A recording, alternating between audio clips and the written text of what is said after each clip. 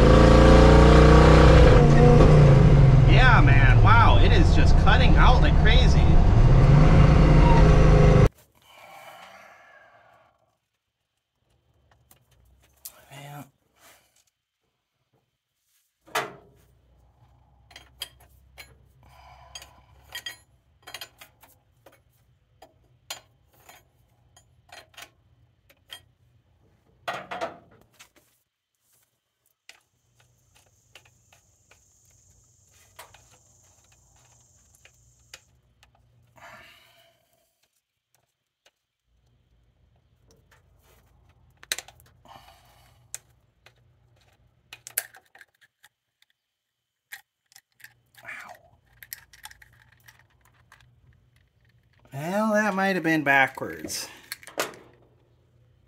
I think that is supposed to go on the other side.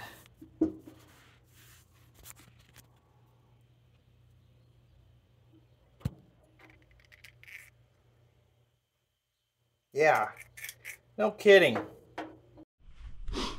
Okay, so I realized that my fuel filter was installed backwards. So we're going to start this up, make sure nothing's leaking there, and go for a rip and hope that that was the problem.